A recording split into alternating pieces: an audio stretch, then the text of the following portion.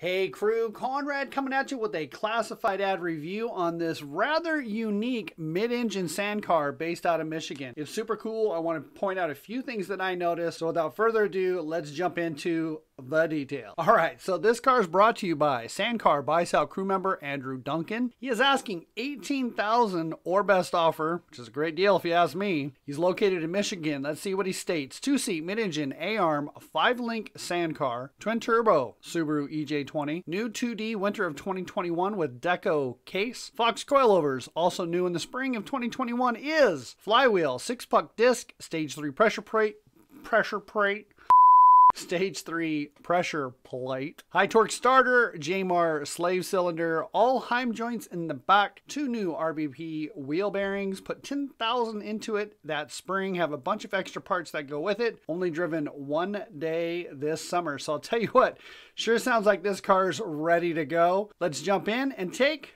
a closer look. Now, Andy didn't mention who built the chassis, but I'll tell you what, by looking at it, it really looks to me like a Tech 3 that was based out of Oregon a few years back, but it's got a little bit of a different A-arm front end on it, so it looks like this was probably modeled after a Tech 3. I'm not exactly sure. We'd have to ask Andy to find out, but it's just a super bitchin' build. I love the short wheelbase. The A-pillar, right? I'm a big stickler for the roll cage designs. We've got a real high a pillar with a tight bend on it. He's got a grab handle in this right here. B pillar coming down, tying in, and then to the back, right? So this is going to be a lightweight, long travel car. So what do we have? A five link rear suspension with a single Fox coilover on the back. A-arms in the front with a single coilover as well. Looks like some big front tires. Spindle mount wheels and a nice set of paddles on aluminum wheels. But I'll tell you what, that's about all I see on this shot. Oh my gosh, wait do you see the, the, the side panels though. That's, that's the one thing that, beyond the twin turbo Subaru.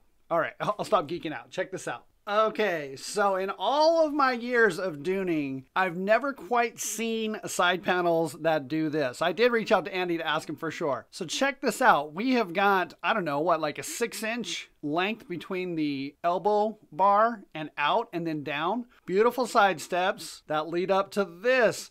Does this not look like an air intake on a jet fighter of some sort? I, I don't know much about jet planes, but I know I've seen a few of them that look like that. This is actually a functional air intake for the radiator. The intakes are on both sides of the car. I just think it's super cool. I geek out on it. I'm like, Wow, great job, Andy. I mean, that was some forethought that went into that. I mean, the way if you look at the way the the front end comes in here and they just follow the line and just bring this out, like the lines just flow on this. It's just a really really neat design. So we've got some race car inspired things as well. We've got some rear view mirrors on it, and then we've got some tubing that's been welded on to protect those mirrors from the trees. Hey guys, I haven't been to Michigan. I haven't done those yet. Yet. I will be going to the 2023 Buggy Builders show. I think it's Buggy Builder show, right? Who wants to show me around the, the dunes out there? I'm going to come check that out. It's on my calendar somewhere. Anyway, I digress. Check out the lights. It's like port starboard lights. I don't know if that's on a, from a boat or an airplane, but that's a great idea. We've got four KC lights on here as well as a light bar across the top. Check out these A-arms built really, really well. What's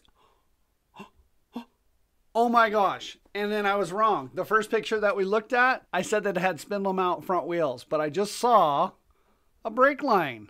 I was like, wait, where's that brake line going? We've got spindle mount front wheels with disc brakes. You typically, usually, almost always never see this style. Let me get back to it. Right here, this style of front wheel with a disc brake. That is super trick I I don't know. I almost, I gotta see this car in person. When I go to Michigan, somebody's gotta we gotta do a walk around and get a tour of this car. Okay, we're back. So little front bumper up the front here. We've got, like you mentioned, the Fox coilovers. We have a remote reservoir on the front of this as well. I love all of the bracing in here. So if you happen to stuff this car, you're gonna be well protected. Uh, triple razor front tire on there. And let's see. I guess that's about all I see. Let's check out the next photo. Next. Let's jump into the interior. So it looks like we've got, I think that's Corbu, Corbo. I don't know how to pronounce that. Do you guys know how to say that? Brand, suspension seats, five point harnesses. You know I'm always pushing for safety, so we've got a nice set of belts on it with the five point harnesses. The headrests are tall on the back. Look at the steering hanger on this. Like somebody spent some time. Looks like double, right?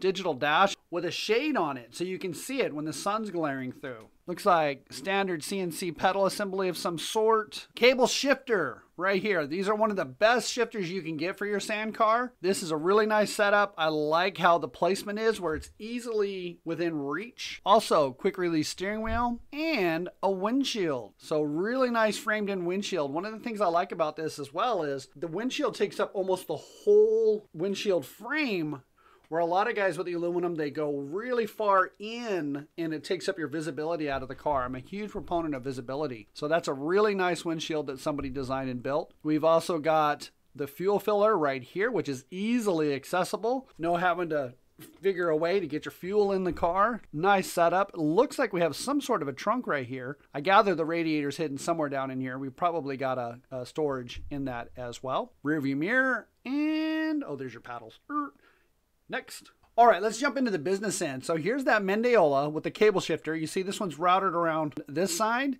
and then you have this cable running front to back. So what this does is when you actuate the shifter, the forward and back cable is where you're going to be moving from first to second to third to fourth, right? And then the side cable that comes around here, whenever you shift it from side to side, first to second straight back, second to third is crossing, you're moving that hockey stick in the transmission to select your gear. So these cable shifters are pretty fantastic. I'll, I'll, stop going on and on about them. I like the rear bumper. Gives you some protection over the nose cone. Here's that five link setup. Looks like we've got disc brakes in the back, dual exhaust. Super nice on a four cylinder, right? Twin turbo four cylinder. This car has just got to scoot. Also, if we look at the shock mounts as they come up through here and then the lacing that comes down, structurally it looks like this car is built very, very well. Saw this on the back, Razorback Buggies. I did a little bit of research on it. I couldn't find anybody with a company that was called Razorback Buggies out of Michigan, but perhaps that is the company name that built the car. Here's a shot of that rearview mirror. I also did notice, look, you've got a gauge up here as well as the, here's all your switches.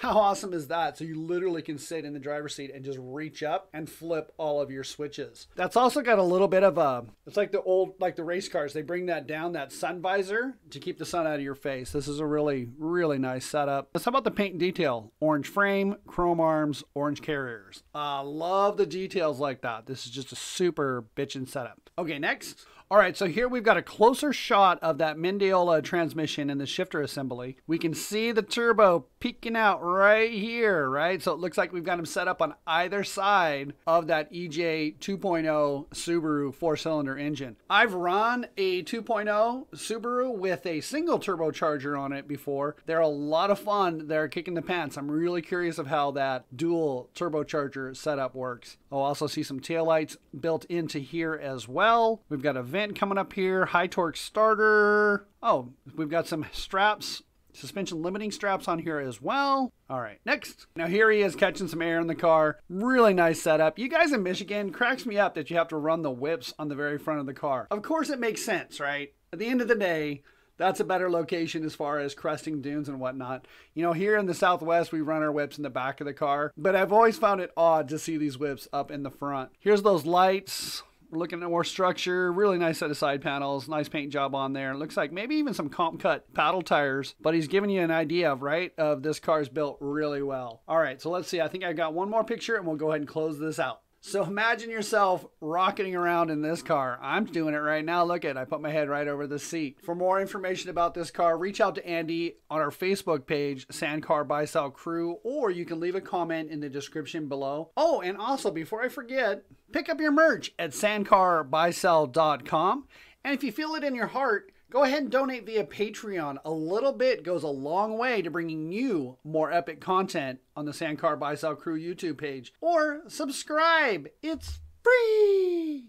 Otherwise, that's all I've got. Thank you for watching. See you in the dunes.